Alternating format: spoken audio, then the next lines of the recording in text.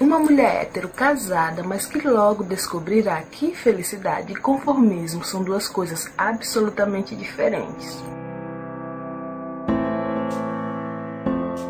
Uma mulher lésbica, solteira, nitidamente solitária e disposta a explorar tudo de melhor que a vida tiver para oferecer, ainda que tudo indique que não seja uma boa ideia. e aí voltamos e voltamos com o quê? Com o quê? Claro, com a segunda parte do nosso especial Casais Lésbicos de Novela.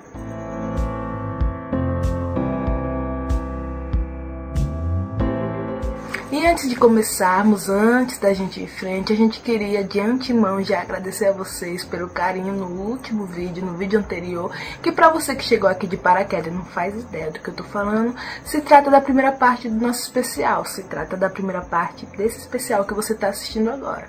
Então, ao fim desse vídeo, a Rê vai soltar ele lá pra você, vai soltar pra você o vídeo pra você poder clicar e assistir e ficar por dentro e acompanhar, porque logo logo vem a terceira parte, né Rê? Isso aí. Isso aí.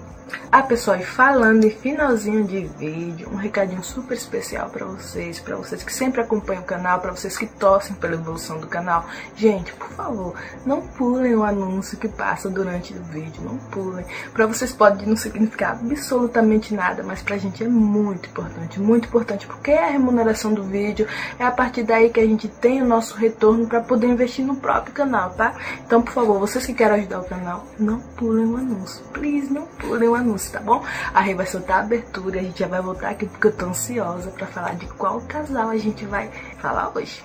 Agora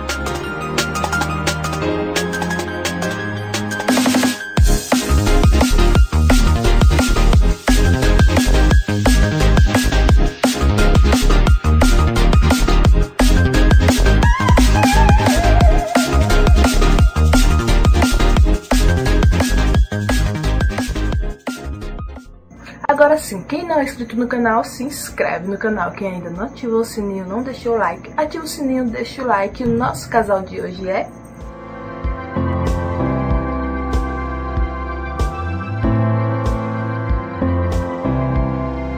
Clarina. Na novela global Em Família, estreada no ano de 2014, o Brasil parou para acompanhar de pertinho o romance de mais duas beldades em horário nobre.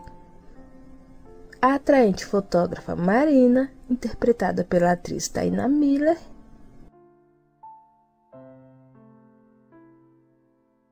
e a cativante dona de casa Clara, interpretada pelo ícone Giovanna Antonelli.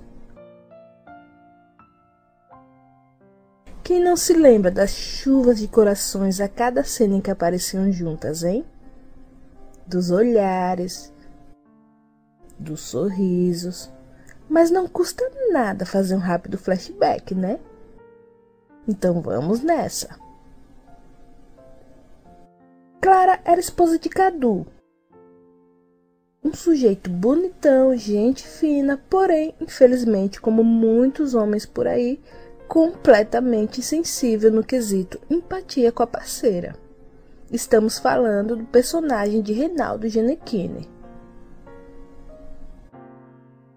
Eles mantinham um casamento legal, carinhoso e, de acordo com a própria, morno, sem brasas queimando. Até se amavam. No entanto, toda vez que a moça dava qualquer indício de sentir falta de algo a mais, o cara saía pela tangente bem mais preocupado em exibir o físico sarado na praia ou focar em seus negócios como chefe de cozinha. Enfim, abrindo espaço para concorrência. Eis que numa certa noite, numa certa exposição em que se encontravam, uma fogueira inteira ardeu dentro dela. Precisamente após se deparar com sua futura melhor amiga, Marina que trabalhada no charme, apesar de cobiçadíssima, ignorou os demais flertes em sua direção, não somente lhe oferecendo total atenção durante o tempo em que interagiram, como também a cobrindo de elogios, diferente do maridão vacilão, banhado no antirromantismo. E tal qual era de se esperar, uma bela amizade foi iniciada. Amizade essa repleta de climinhas que rendeu a Clarinha um ótimo emprego e a Marina várias e várias borboletas no estômago. Embora experiente e habituada a jogos de sedução, a coitada simplesmente não sabia como se comportar em meio às novas sensações, pois simultaneamente a evidenciar sua tamanha pureza e convicção quanto a seu relacionamento de capa de revista, Clara também se mostrava atraída, balançada e, acima de tudo, envolvida, a ponto dessa aproximação gerar interrogações em alguns e desagrado em outros, como no caso de Vanessa, interpretada por Maria Eduarda de Carvalho. O braço direito e ex-namorada de Marina, que no intuito de afastá-las definitivamente passou a envenenar Cadu com insinuações maldosas, o instigando a implicar com o fato das duas mal se desgrudarem.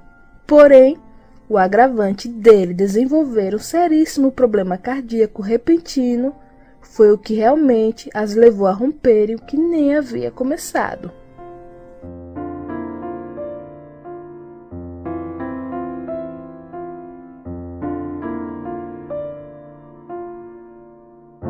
Confesso que eu achei que esse seria o desfecho oficial do casal, até porque nessa época eu já estava um pouquinho traumatizada de ver os autores sempre darem aquele jeitinho de separar os casais com briga ou coisas até pior, né? Mas.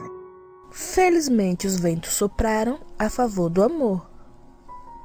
Assim que o estado de Cadu foi amenizado, elas assumiram entre si que não dava mais para continuar fingindo que se viam apenas como irmãs separadas no berço.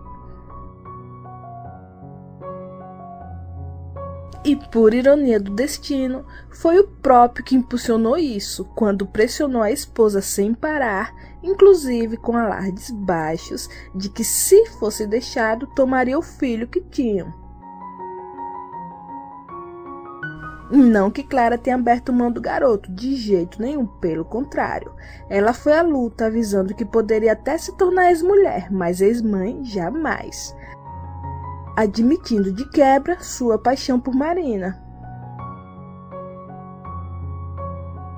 Ainda que verdade seja dita, as coisas só andaram para valer entre as duas porque novamente Cadu deu a largada, agora pedindo divórcio ao perceber que, por mais que de fato não estivessem juntas, elas nunca se distanciariam. Ou seja, uma vez desimpedidas, Clarina podiam, puderam e começaram a viver sua história. Assim, longe de me polemizar, mas eu também tenho que confessar que a partir do momento em que a Clara e a Marina ficaram juntas na novela, até antes disso eu tava super curtindo, eu tava super encantada com o que vinha acontecendo até então, mas a partir do momento que elas ficaram juntas, eu comecei a ficar um pouquinho frustrada. Mas por que frustrada? Calma que eu explico. Porque assim, vocês assistiram a novela? Aliás, vocês já assistiram qualquer novela que tenha casais héteros? Se vocês verem é, casais héteros em novelas, cena de beijo, cena de abraço, cena de carinho, cena de qualquer coisa que envolva casais héteros, são sempre mais detalhadas, são sempre mais intensas. E assim, necessariamente não precisa apelar, certo? Não estou falando de apelação, nada contra casais héteros, até porque quem nunca assistiu um filme hétero aí? Quem nunca assistiu? Tem muitos filmes héteros bons, tem muitos casais héteros bons. Não é o caso, nada contra os héteros, mas eu tô frisando aqui o seguinte.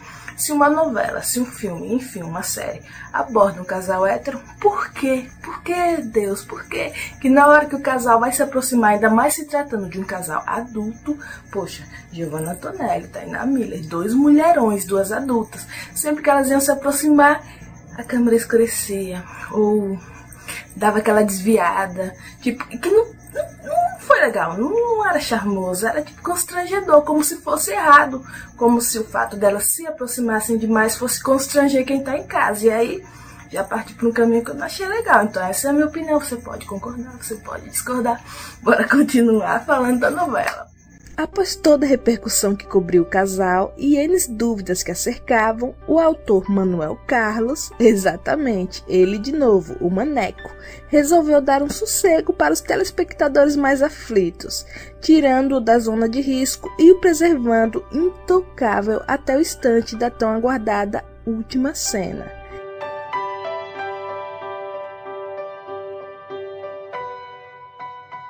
Que se resumia ao beijo que selaria a união oficial diante da família de Jeff Ron. Foi a altura do que poderia ter sido? Não, não foi. Foi bem mais do que o histórico desfecho do casal gay barrado na novela América entre os personagens de Bruno Gagliasso e Aaron Cordeiro foi e foi demais. Portanto, apesar dos pesares, devemos sim celebrar Clarina para sempre, porque elas fizeram muita gente repensar seus pontos de vista, erguendo a bandeira LGBTQIA+.